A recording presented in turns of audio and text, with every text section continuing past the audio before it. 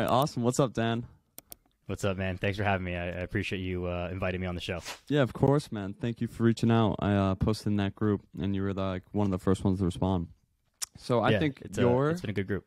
your story, Dan, will be super inspiring to like, like you're you weren't obese yourself, or maybe you were medically, but like just off the brink, right? But I think your story will be motivating to anybody who has a ton of weight to lose, and maybe it's like impacted their health, right? Because well, firstly, I want to get to a fun little fact about you, bro. You've had a beard, like I read through your website. You've had a beard for ten years almost. Yeah, about about that for sure. I I started. I actually started having the beard, which is like part of my fitness story, I guess. When I had so very quickly, I had like tons of injuries playing soccer growing up, and then that led to like a major surgery. That major surgery put me on my butt for 13 weeks. I couldn't put my left foot on the ground. I couldn't put any weight through it. And then during that time, it was like, you know, I couldn't even move. I could barely even go to the bathroom by myself. I just started growing my beard out and I had like super long hair at the time. Obviously not anymore, but I had, uh, I just like, and then, uh, and then just kept it from there. And, and I did, I actually did like clean shave my face one time between then. It was maybe like a year or two after I started. And immediately it was like, no, this is this is not happening. And and I think that once you start having a beard, it's very hard to go back to a clean shaven face. I just felt like I looked like such a baby. Now the other side of it is that maybe it looks me, maybe it makes me look a little bit older, but I'm not all too concerned about that. Yeah, how old are you? Are you 28? I'm 28. That's right. Holy shit! Guess that. Let's go. I think I'm pretty good at guessing ages. Amazing. I thought I thought you read that off the off my Instagram or something as well. That's awesome. No, that's a no. that's a great guess. Wow. Yeah, usually I definitely get a little bit older, but I mean, whatever. I, again, not my concern. Yeah.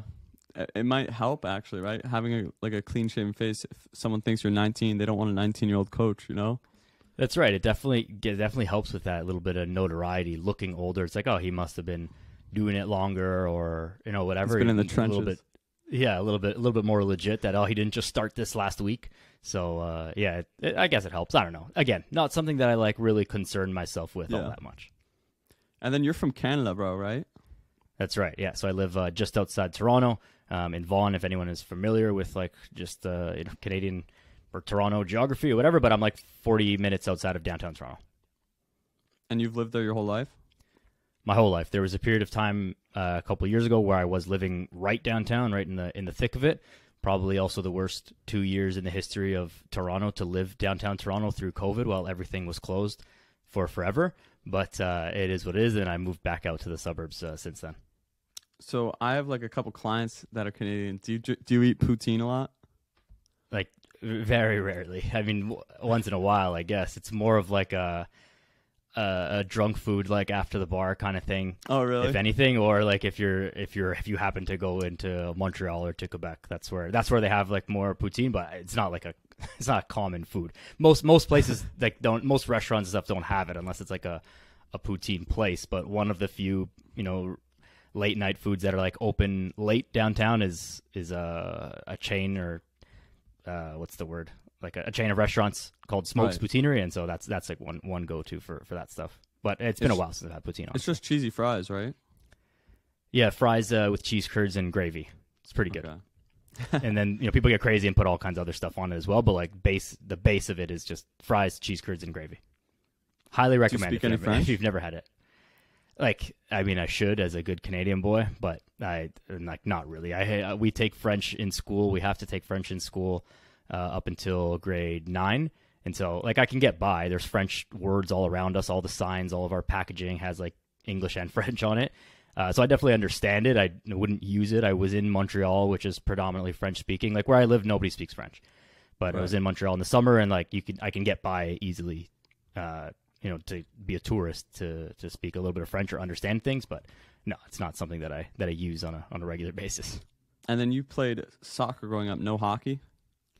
I did play hockey as well. Oh, nice, Um, nice. I played a little bit of everything. Uh, Hockey, not uh, as much as, or just not as high of a level as soccer. But soccer was the thing that I enjoyed more and excelled at more. And so, like at some point, there has to be a like a choice. And even just logistically, like with my family, I've got two younger brothers as well who also both played sports. And like for my parents taking us around, we couldn't both be playing high level, or all three of us couldn't be playing high level soccer, hockey, and you know swimming lessons and school basketball team and school volley. Like we couldn't do everything, so there had to be a, a choice, and, and soccer was the thing for me. Yeah, you definitely got those athlete legs, man. Your legs are fucking jacked. I saw appreciate your that, Instagram man. story. Yeah, I got some appreciate killer that. quads. Thank you. It's it's uh been always a work in progress for for forever, but it's something that I've worked at a lot. And like I talk about lower body training and squatting specifically so much because it was something that was like I was told I was never going to be able to do that again or I shouldn't do it anymore after all my knee injuries and stuff. And so I've worked really hard over the last uh, whatever 8 or 10 years or so to like build that back up again and not injure my knees again and have strong legs and and utilize that utilize the ability to be able to squat because at one point I wasn't able to even like walk really. And uh and and so being able to do that is something that I, I just I take pride in. And for all the other health benefits and having balanced legs like of course I love training upper body. Like don't get me wrong like nothing better than a chest pump. But you know it, we gotta we don't have to excite men that much to train their upper body. It's just excite Yeah. training lower body but I will say this I'll, I'll add this and, and I would and I would be curious if anyone like disagrees with this that I would say men train legs more often than women train upper body. And of course, massive generalization. But I think Yeah. women skip upper body day more than more than guys skip leg day. Yeah, definitely. I think that'd be a fair assumption uh, before working Yeah. with a coach, right? Just on their own. Yeah. Yeah. Yeah. Yeah, of course. Um, what? Let's talk about that since you brought it up. That's some, something I want to talk about. What happened in 2014? Like, walk me through what happened. Yeah, so so prior to that, and maybe the like six or seven years prior to that, and, you know, so it's my whole life basically. I had uh, a, a huge series of knee injuries where my patella or my kneecap would sublux, which means it pops out and pops back in. So it wasn't like a full dislocation where I had to go to the hospital to like get it pop back in, but it would just like jut out of place and, and come right back in. That was three, four months of an injury right there, and that happened I don't know eight to ten times or something like that over the course of a number of years. Then I finally uh, got in touch with a surgeon who was able to work on me. It was very much discounted for a number of years. Oh, you're young, you'll grow out of it. Uh, you know, try this, try that, and there's nothing wrong with you. And you're not probably familiar with the the Canadian medical system, but you have to, you can't just show up to a surgeon's office and like pay for an appointment. You have to go through your family doctor and all this stuff. And so my family doctor was not to like you know kind of crap on doctors and stuff, but and, or the system, but like I had to convince my family doctor to give me a referral after so many times. Like this is not normal. Like I've I've been to all the physiotherapists or the physical therapists, athletic therapy, all these things, and nothing's working. Like there's there's got to be something else here. Like let me just talk to a surgeon. He's like after some time he finally agreed, and when I saw the surgeon who was at the time. Um, one of the surgeons that works with the Toronto Maple Leafs, our hockey team here, so you know, pretty pretty good guy, of course. He's like, "Wow, do you mind if we uh I have some students here today and we don't see knees this bad this often. Do you mind if I if I let them look at you? And I was like, oh, okay, of, of course. Um, anyways, so got all that fixed, and the the it was a pretty big surgery. Like, there's only one doctor here in Ontario, which is our province, that even does the the surgery that I needed.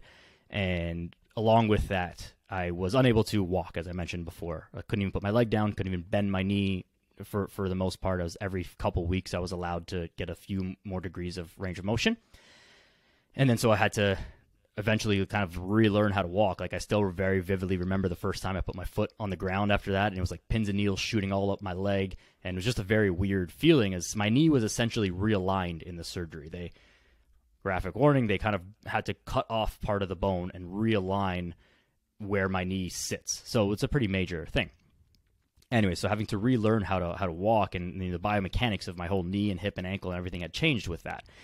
Um, and then just rebuilding up all that strength, as you can imagine, without putting my foot down or using my leg for so long, I had so much atrophy. Like my quad was probably the size of my forearm, and, which is which is like not very good. and uh, and so I had to rebuild all that up again, be able to run, be able to jump and sprint and squat and like do all of the things and um, and so I take a lot of pride in being able to do that, and I know what it's like to have that taken away from me. And of course, it wasn't permanent or anything like that, but I, I've experienced not being able to walk on my own and do stuff on my own, and so I never want that to ever happen again to myself and for for anybody else within our control as much as possible. Right, and then I just want to harp on that. You weren't able to fucking walk for like a half a year, almost right, four months. Yeah, so yeah, just just just shy of four months. It was like 13 weeks exactly to like put some weight through my foot, and then it was like another couple months of crutches and you know assisted walking kind of thing, and then yeah, so it was it was the better part of six months until I was able to actually just walk normally and you know be confident to take myself somewhere and go do things by myself. Like there was one story that I've I've posted about it for sure, maybe a couple times even, but there was uh, one moment where I had to go to the washroom and I was at home and we had like brought my bed down into the living room and all this stuff, and I couldn't really move around by myself, and so imagine being like a 20 year old boy who is a, a, former or was an athlete and all these things. So I, I pride myself on like being able to do stuff by myself. I don't want to have to rely on people and all these things. You know, big macho, lots of ego, tough guy kind of kind of deal. And I'm sitting there like asking my mom to help me like go to the bathroom. And like that was like that's it was like so heartbreaking at the moment. And that was like when it really clicked for me. It's like okay this can like obviously this is a surgery and whatever it's going to get better and and you know it, this is not a life sentence kind of thing but this can never happen again. I can never let something like this happen again as much as it's within my control whether it be joint replacements or uh, arthritis or just back pain due to inactivity or any of these kind of things. I need to be in control of my own health and fitness and ability to move. And so that's how I kind of model my life really after that. And then through that, through the not being able to move, right? This is something I love on your website, by the way. Daniel, am I saying it right? Yours? Yours? Mm-hmm. Mm-hmm. Okay. The first one, yours. Yeah. Okay. Either. I love on your website. Go if you go to my story on his website. It lays it out so well though, but with the pictures too. I love that, man. like Yeah. after you got better, it was like a nice smiling picture at a concert or something like that. I love that one. But right before that, like you showed what happens from you, how your activity level took a plummet, like how it affected your body composition. Like you got a lot of unwanted body fat. Kind of looked like um a good word would be bloated, right? You looked bloated, just a bunch of un, uh, unwanted accumulated body fat, right? And I think Yeah. a lot of people have like look like that right now just from not caring about their training, not caring about their nutrition, right? That's a lot of people's starting photos or worse, right?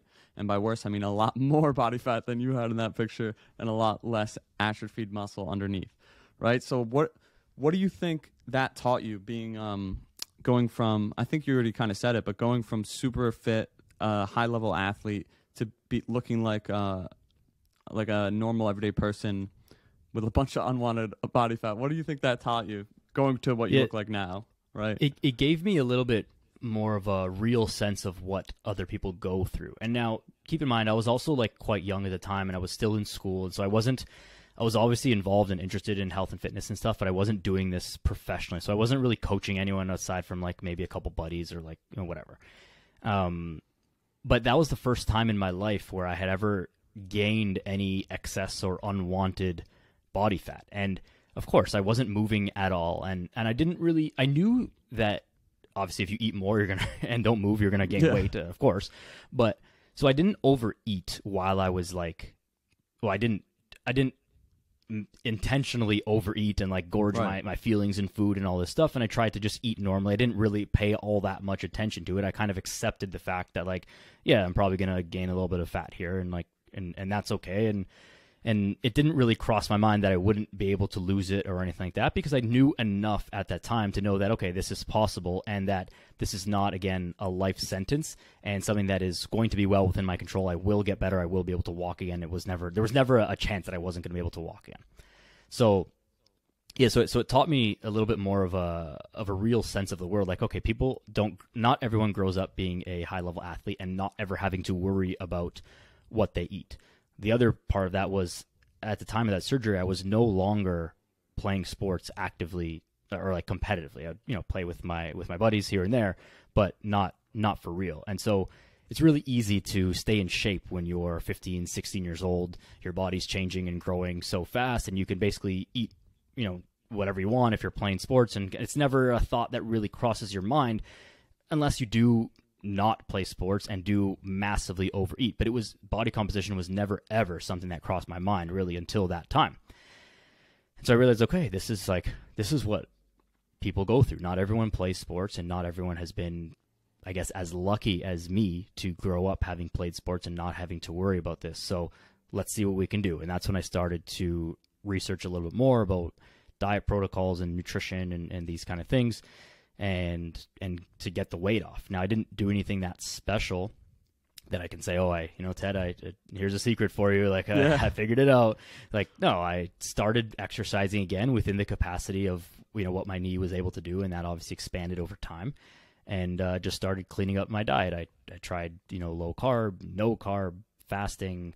I tried all the things and all of them worked to various degrees. And I wouldn't regret doing any of them because I learned how those work and how those make you feel and why people find those different types of diets um, helpful. And I took what I what I thought was good or what worked for me from those things and kind of threw away the stuff that I didn't like. And then I've gotten to the way that I eat now. And that's, I wear a Bruce Lee t shirt today. And it's like, you know, his quote, I, I'll butcher the exact quote, but it's like, take what is useful, discard what is useless, and, and add in what's uniquely your own. And so that goes for obviously it was in the context of martial arts, but of course it goes in with nutrition and training protocols as well. There's no one size fits all everything. All of the things kind of work, but what works for you is only something that you can figure out.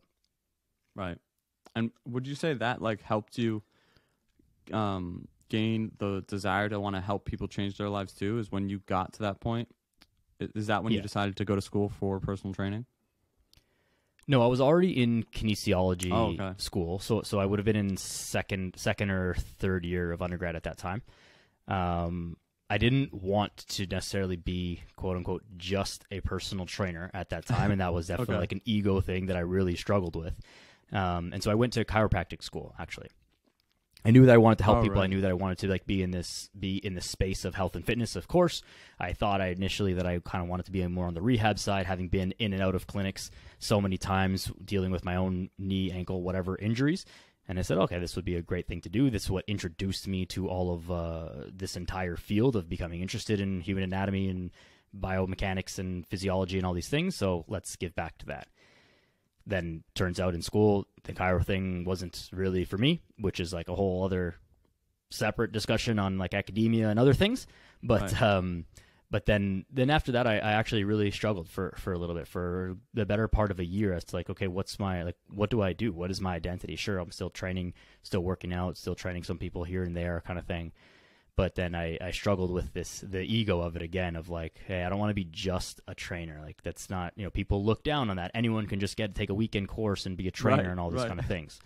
And and that's that's certainly true. Like that hasn't changed and, it, and yeah. that still bugs me to, to some extent.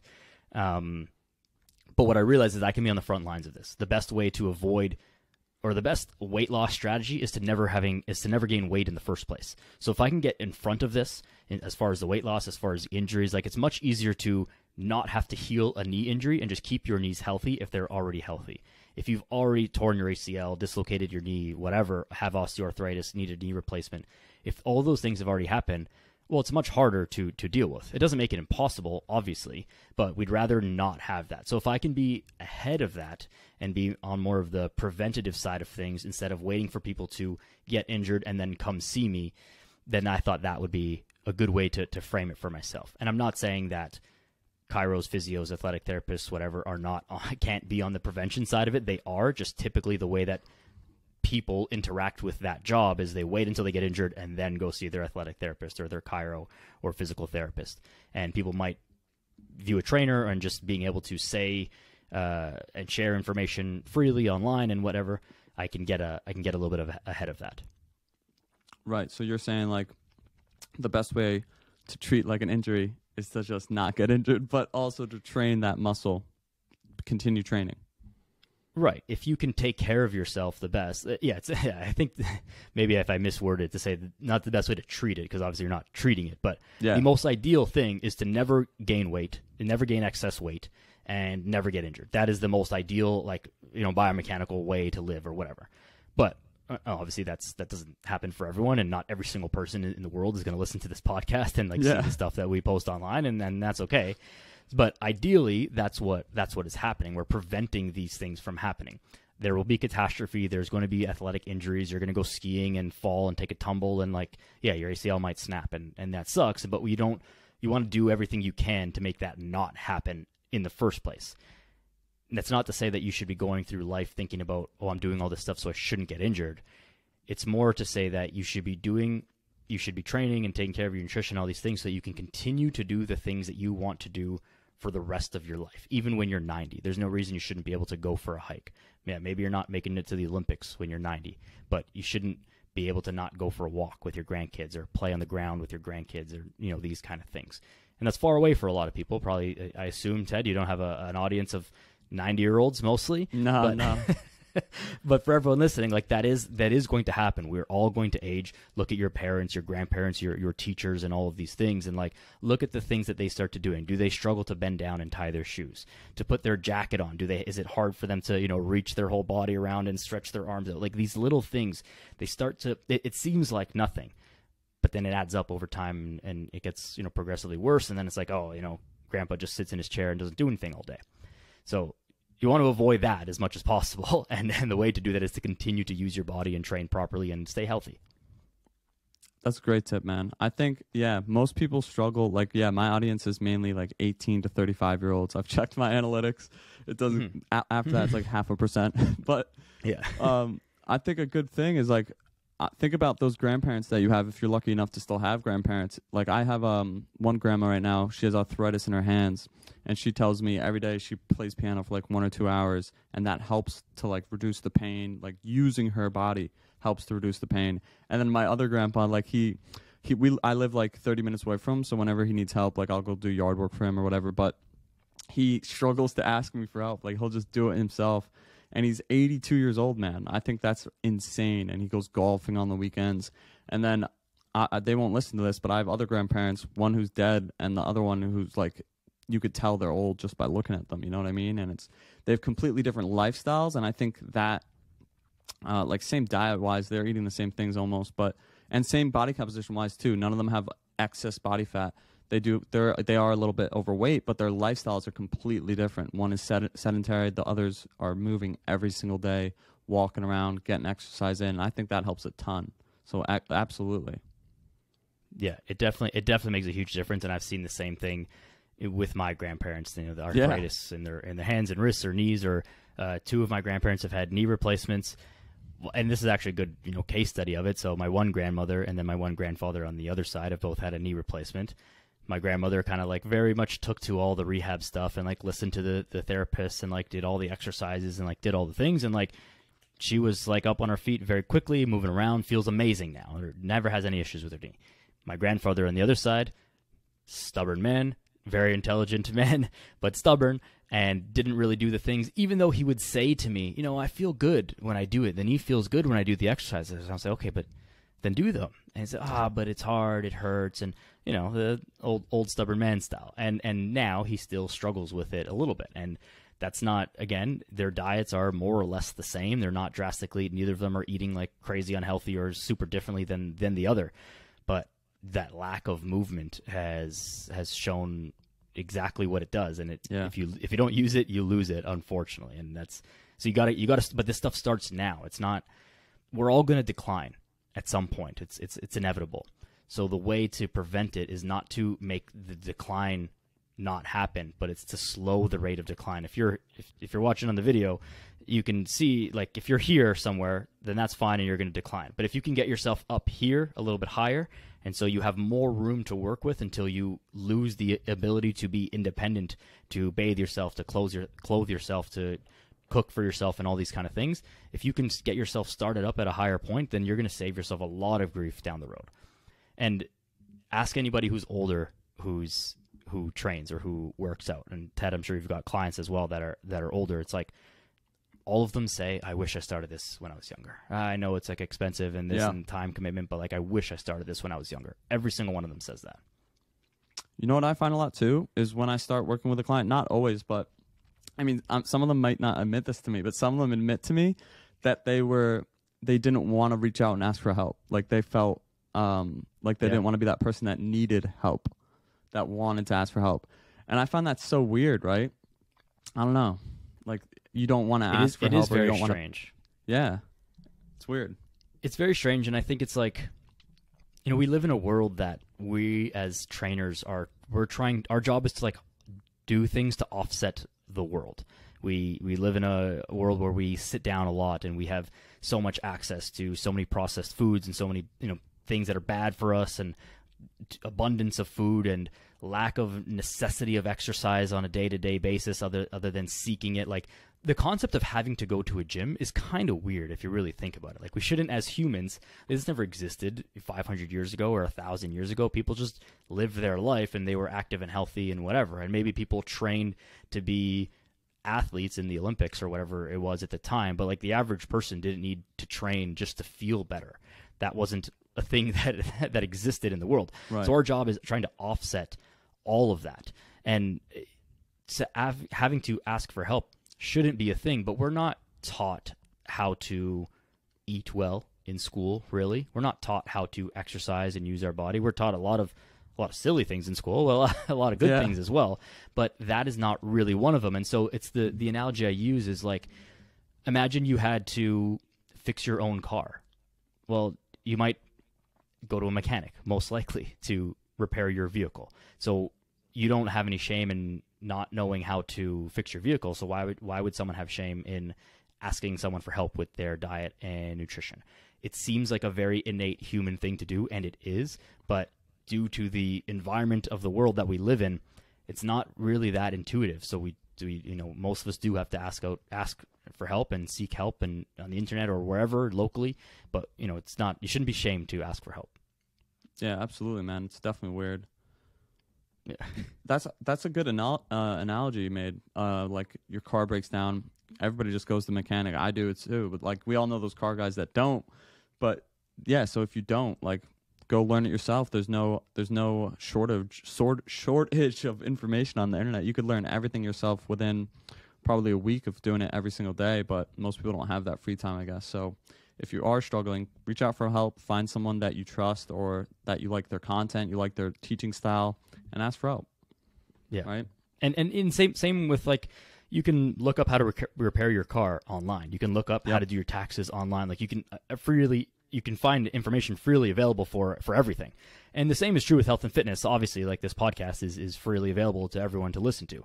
And so you don't have to necessarily pay for it, but you do have to invest your own time in it. And so you do have to there has to be some interest in you seeking out this information and the things that that we know as trainers, they're not rocket science. We don't hold some some secret, you know, knowledge that we we keep to ourselves behind like a paywall and like I'll only tell you this when you pay me. Like no, the the, the paying is for the individualization of everything. But the the grand lessons and the over the overarching themes of everything is is all the same. Like eat less and run more. Some people kind of shit on that and like, oh, that's oversimplified. And it obviously is oversimplified, but that is what you need to do to lose weight is eat less and move your body more.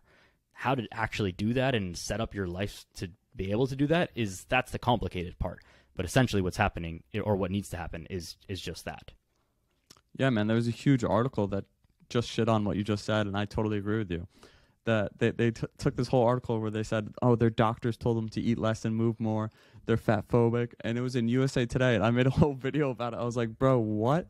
This is good information. You are eating too much and sitting on your ass too much. You're doing nothing and over consuming. You're obviously you're gonna get obese.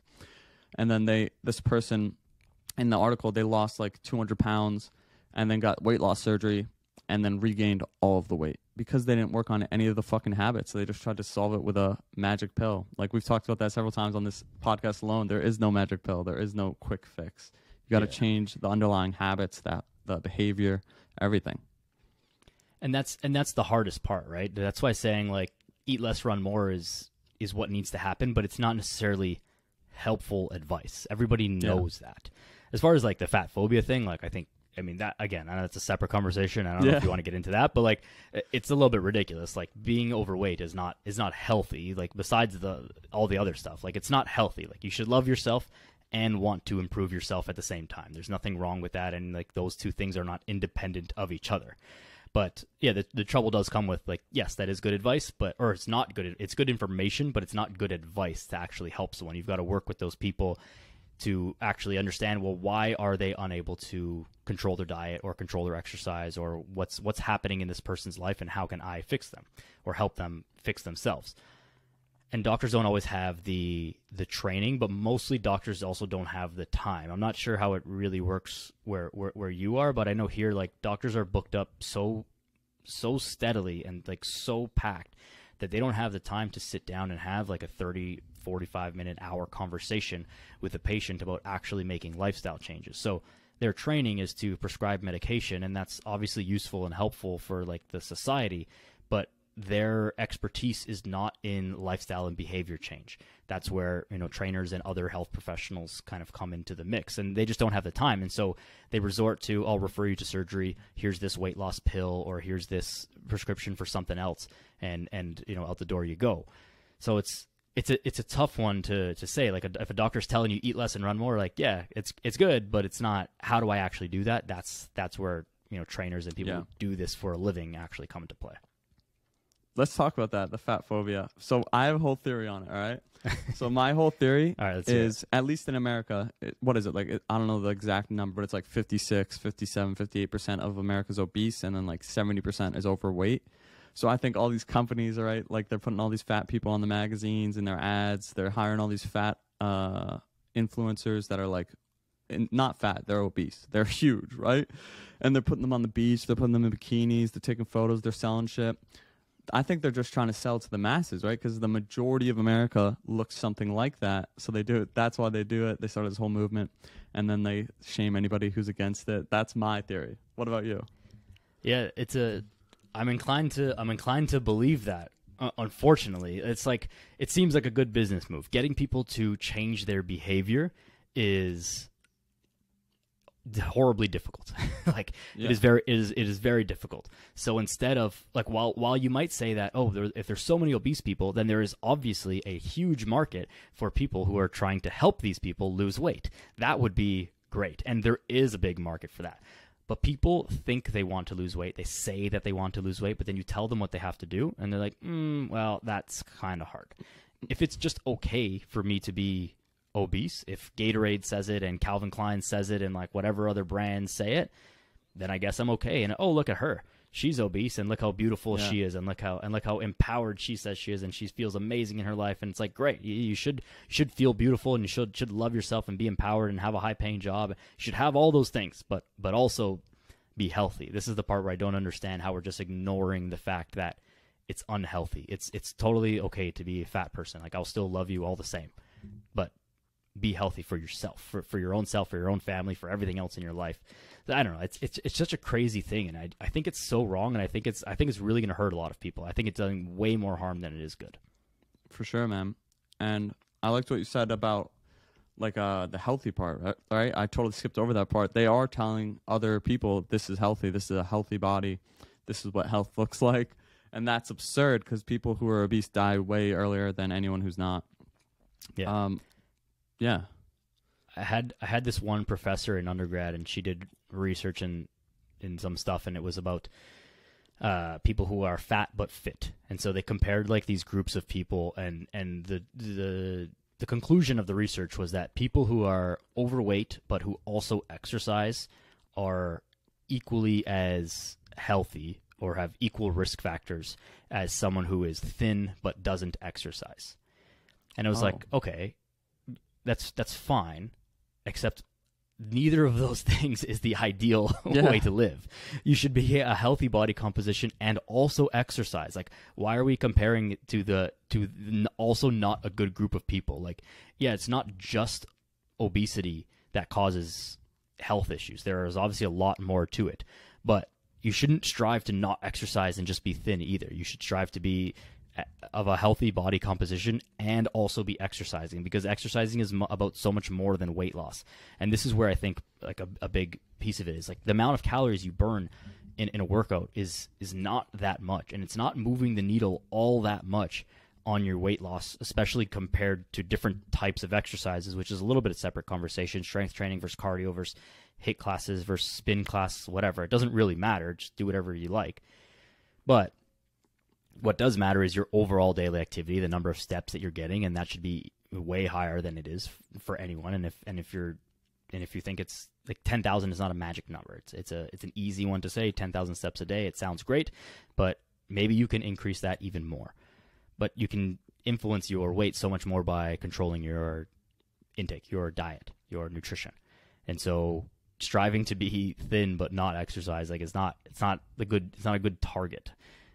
Another one along with this is I don't know if you if you see these things or, or you know whatever, but a lot of people say and this is from fitness people they market themselves as like lose weight with me and you can still like drink beer and eat pizza every day and enjoy your favorite foods all the time. And it's like yeah like okay like of course you could but is that the goal?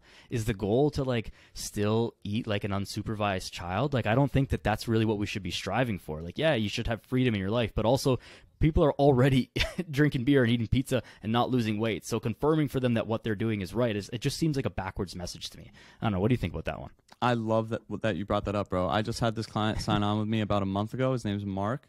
He told me the sole reason he signed up with me is because that I said I sounded like I wasn't bullshitting. Like, because a lot in, in, my videos I say, if you want to lose weight, stop drinking fucking alcohol. You're gonna continue to gain weight. You're not gonna lose any weight. You're gonna continue to binge. After you eat, uh, have a couple beers, you'll order a slice of pizza or a whole pizza and you eat the whole thing. Like, and he said yeah. the reason for me saying that he signed up for, with me because he thought I was no bullshit. So I think that people who are saying that they're trying to trick people, but like real logical people aren't gonna are they're gonna see right through that, you know? Because you can't just eat fucking pizza, ice cream, and beer and lose weight and be healthy. Of course you can in moderation, but what's what that's looking like what the doctor's telling you. Like you know that meme when you the doctor asks you how many drinks you having per week, and he's like and you're like, uh, I don't know, seven, and he's like, okay, per week, and you're like, no, per night, yeah, yeah, Something yeah. like that, you know. Or it's like the doctor said only one glass of wine, but the glass is like a you know an entire soup bowl. Like yeah, exactly. yeah, it's true. Shit. It's like yeah, you, like it's like sure you could lose weight by con- and continue to eat pizza and drink beer and like eat ice cream and whatever. Like that is definitely possible, and like we know that, but is that healthy? Is that like a good way to live? I, I don't I don't think that that's that's true. And maybe I'm wrong, and I would love to be wrong, and we can all just eat McDonald's all the time, and like, but it doesn't seem to be it doesn't seem to be the right answer. And of course, you should still include those things in moderation. It doesn't mean that you can never have a sip of alcohol again, and never have a cheeseburger again, and never have a, an ice cream cone. Of course, have those things like enjoy all the amazing things that like we've created in this life, but not every day and, not yeah. every second of every day, not every meal. That if you really want to lose weight, there has to be some sacrifices because if you don't change what you're doing, then nothing is going to change. And the point of you reaching out to a coach is to is to like is to want to change something. Otherwise, like why, why are you reaching out to a coach for? It doesn't make any sense. Yeah. Uh, you you said uh, track your intake, so you have your clients tracking calories, right? Most of them. Yeah, very loosely. There's very few clients that I have who who I actually have them like diligently track their calories. What I typically do is have people create a food log, which I'm sure you're familiar with, and just like up front, it's just like, okay, write down everything you eat and drink in a week. Give me the rough amount. I don't need you to weigh anything, but like one bowl or one piece of like, just give me the rough amounts, and and then let's figure it out. And then from there, I try and have them. We sit down and or you know over online or if it's in person, whatever, and we'll look at it and be like, okay, what do you think we can change about this or what would you be willing to fix about this? And more often than not there is something in there. It's like oh yeah i didn't realize that i have like four cookies every night or a, a, little bag of chips or something every night. Maybe i could just have half of that or maybe i could remove that. And it's like okay great let's start there see what happens. And then we start to make changes as we go. Now i'm, I'm so big on the training side of things that like I, I focus way more on the training than the nutrition because i think nutrition is like is painfully simple for most people and it's mostly about making these lifestyle adjustments. The people who I have track their calories closely are people who are a little bit more experienced and who have like a little bit more specific goals. But for 90% of my clients, they're paying attention to their food and they're tracking their food and loosely like kind of like tracking their protein and stuff like that. But they're more making lifestyle changes and then things kind of balance themselves out. And if they're really eating super quote unquote clean and like, you know, with some treats and stuff in, in moderation, and the needle's still not moving on their weight loss, then we'll start to start to track the calories and start to like get a little bit more into the nitty gritty. But I'm really I, I want to avoid the having junk food and oh if it still fits my macros then I can still have it because people are starting to people look at the number of the calories or the or the amount of the macros before the nutrition value of the food and I don't want to separate those two things. So I don't want people to get in the trap of And of course, there's no one right way to do it. This is just the way that I do it. But there's no uh, the I don't want people to get in the trap of like, oh well, I had that I had that pizza and that still fit my macros, so like I'm I'm still good. I'm eating healthy rather than if they just had a piece of chicken and like uh, some Brussels sprouts or something. Okay, uh, so you're like more of like uh, building a strong plate in each meal, something like that, right? Yeah, yeah, yeah. Just Okay. making healthy choices and and moderating the amount of food, of course. So you shouldn't overeat. Using hunger cues as a thing. You know, eat till you're eat till you're satisfied, not until you're full. You shouldn't be stuffed full at every at every meal. And more often than not, when you remove most of the crap, then weight loss starts to happen. And you increase exercise, you increase step count through the day, and all these things. Weight loss starts to occur. When that slows, then of course things need to adjust. But up front, I, I rarely have clients track their macros and calories. How how do you do it? Yeah, I have them track or not macros, just calories and protein. But the reason I asked is because we Yeah. were talking about like over over generalizations earlier, and um, like how uh someone wanting to lose fat will go to their doctor, right? And the doctor will be like, yeah, uh, you'll see your doctor for like 15 minutes after seeing the nurse for 30 minutes, whatever, right? And they won't really help you with the nutrition, but something they will go seek out and find is like a dietitian, right? But again, this is going to be an overgeneralization, but I've seen so much content on Instagram and TikTok of um, dietitians saying like, yeah, tracking your calories is not going to help, all this shit. And I was just like, why, as a dietitian, are you going to tell someone that like tracking their calories isn't going to help? That's 100% going to fucking help you lose weight for sure. So I don't know. Yeah. That's just something I want to talk about. No, yeah, definitely, definitely, I agree. And and it's it, it's hard to make those blanket statements. Like even myself, there are some clients who right out of the gate, I will have them track their calories, and this is where the individual approach comes into play. Some people Yeah. that the, the tracking of the calories is so cumbersome and it's like so overwhelming to them that it's like okay if we start doing that like that is too many things all at once.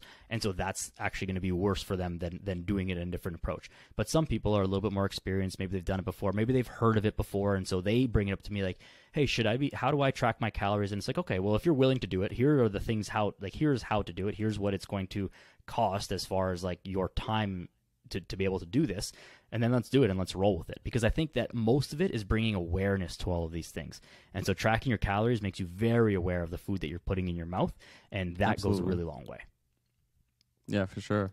so, So many people once- are, are unconsciously eating Yeah, yeah, yeah. I fi- I find myself doing that sometimes too. You know, you go put on like um right now I'm watching Game of Thrones every week with my girlfriend. Put it on, maybe like go make a peanut butter and jelly sandwich. That's like my s- that's like my treat. Or like uh grab some nuts, man. Holy shit. People that eat nuts without Yeah. tracking those on a food scale, that's an easy 600 calories, 700, 800 calories. Little like mason jar, like a fucking one cup mason jar. You fill that up with nuts, that's a thousand calories. Gone. Yeah, yeah. So that that's where like the education around food and Yeah. nutrition kind of comes into play more, right? Because of course, like you would, most people would classify that like nuts are a healthy food, assuming you're not allergic to them. They, they are a healthy food for you to consume.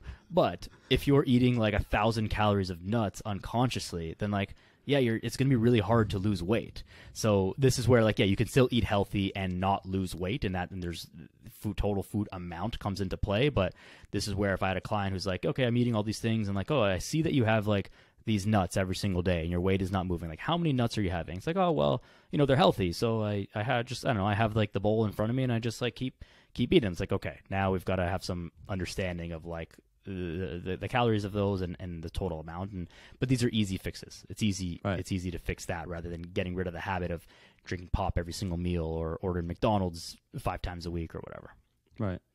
Eating out, that's a huge one, man. Do you, a lot of clients that come to you, that's something they do a lot that you have to fix right away, them eating out a lot, not making the meals? Yeah, and it's a it's a difficult one because usually people who in my experience people who eat out very often they claim that it's because they don't have enough time, Time, or they don't know how to cook or or some combination of the two things. And and that's fine. So what I typically do with them is like, well, let's let's try and make better choices if you're ordering out then. Like Uber Eats also has healthy restaurants on there as well. Like there's not just, you know, like McDonald's and Burger King and like whatever like junk fast food places. Like you can get not healthy, you can get not junk food ordered to you every day. Or another thing that I've really come around to in the last probably like 6 months or so is these meal delivery companies where you pay like a weekly subscription kind of thing, and they deliver you all the meals in like frozen containers, and then you just heat them up. And it's like, okay, then that solves your time issue, but at least you're eating not fast food every every every time, and or every meal. And so that's something that I've really kind of come around to, and I and I use that a lot with with clients who kind of struggle with um eating out too often is just again bringing awareness to the choices that you're making. You can still meal prep and order all your food by using one of these meal delivery services or at least just planning out what you're going to order. Instead of opening the Uber app and choosing like the thing that's going to be there fastest or the thing that has a 2 for 1 deal or whatever it is that day, like think about okay, today I'm going to get uh, you know, a salad and chicken and some rice from this restaurant, and then tomorrow I'm going to order like salmon and a baked potato, or whatever, from this restaurant, and like you can still order things and not eat junk food. So it's again bringing awareness to those things and and just making better choices. Yeah, those food delivery services are amazing. If you have the money for it, I would do that every fucking day. Yeah, and some of them are they're actually not as expensive as like as they seem. I, Really? I'm I'm honestly confused as to how they make money, but some Oh, of them wow. some of them work out to like fifteen dollars a meal kind of thing. And if you're ordering out, you're you're spending at least that on a meal anyways. So it, it's really not. I, I have no idea again how they make money at that at that price, but I mean that's not that's not my my problem Yeah. but uh, but but they're they're not overwhelmingly expensive if someone is already buying uh, multiple meals per week out. All right, Dan. Well, we're 46 minutes in, so I'm going to start.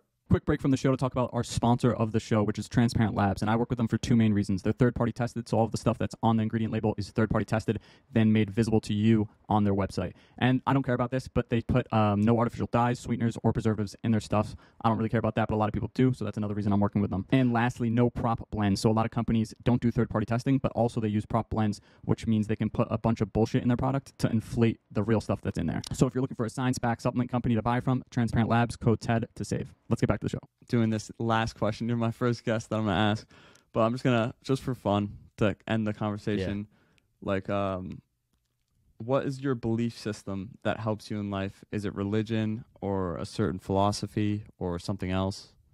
What helps you? Interesting. Yeah. Um, it's hard to say that it's. I, I wouldn't say that it's religion, although, uh, like I, I am, you know, baptized and whatever. My family is somewhat religious and whatnot. I wouldn't say it's that, but it's more of like a just through my own learned experiences, um, where I've I've come to learn a couple lessons that moving forward is all like taking one step forward in a positive direction every single day is a very very important thing. And i know that that sounds so simple and like okay this you know cliche guy. I get it. But to me that's like been internalized uh, through some experiences that i've had that as well as sharing what i know. So all of the experiences all of the life things that have happened to me in my life have led me to this point and i want to give that back to the world and to and spread that as much as I can and spread as much positivity if I, as I can. If I can leave the world a better place than I leave than I than I got here, if I can leave some type of positive legacy when when I'm gone in you know whatever 80 years, then then then I've done good. And so what can I do every day to try and push that forward? And I think that's like I've not really thought about this to put it into words, so I'm kind of thinking as I'm as I'm speaking of course. Of but- course. But but but that is um that that is more or less like the philosophy that I that I lead my life by. And and that may very well change. Again like I'm only 28 years old so like I've got a lot more a lot more life to live and that will very well change as I you know get married and have children and whatever eventually. But um yeah for now that's that's more or less kind of the, the philosophy that I that I choose to lead my life by. And and one other thing is that there's a lot of stuff that we can control, but there's way more stuff that we can't control. So if you can control it, then there's not really much to worry about because you can do something about it. So so do that. And if you can't do something about it, then let it go because you can't do anything about it and just make the best of the situation that you've or you know make the best of the hand that you've been dealt kind of thing. So try not to be too emotional about things that happen. Understand what can I control about this? If I can do something, then go ahead and do that thing, and you're good. Nothing to worry about. But do that thing. If you can't do anything about it, then uh, then just let it go and, and kind of stoically make your way through that way. That I was just about to say. Are you into stoicism? A little bit, yeah, definitely, definitely am. I think I take you know take things from from different from different places, but uh, stoicism is definitely one of them. Yeah, yeah, I could tell. Control what you can Yeah. control. Make yourself better. Make society better. Definitely. Yeah, yeah. Another thing on that, like I I know I, I don't uh, my appearance doesn't doesn't show this, but my heritage and like my dad's family is Greek, my mom's family is Italian, and so you know, no one ever guessed that. I get it. I, you know that's fine, but um, you know those two cultures historically, like ancient Greece and ancient Rome, like these were two of the the, the greatest civilizations that existed in in the ancient world, right? And they shaped a lot of the way, especially in the West, that like our world is today. And so I, I take that like very, very much to heart. The place in Greece where my grandparents are from is very close to where Alexander the Great was born and, and, and the place that he was from. And so I take this like quite quite seriously. And so I think about like, well, my my if I imagine if I let myself imagine that my lineage is is to that, well then how do i continue that? How do i continue that in the modern world? And how do i like continue to make the world a better place? People talk about alexander as we're talking about him right now. How do people leave such a positive impact in the world that they talk about me and the things that i've done and how how i can change the the landscape of the world long after i'm gone? And so if that's through health and fitness then that's through health and fitness. And like i'm you know i'm not about to go and conquer foreign lands and, and you know do that kind of stuff. But like if i can positively impact the world through like helping people live a better life through controlling their body and, and taking control of their health, then uh, then that's great for me. That's awesome, man. That that was a really fucking amazing answer to that question. That was like a Thank five you. minute answer. I love that. I, I, I definitely can tend to tend to ramble as well as, as you know, have, having a podcast as well. You you get real comfortable talking, so maybe it's maybe it's too much. But uh, yeah, man, that was a great question. All right, Dan, tell the people where they can find you.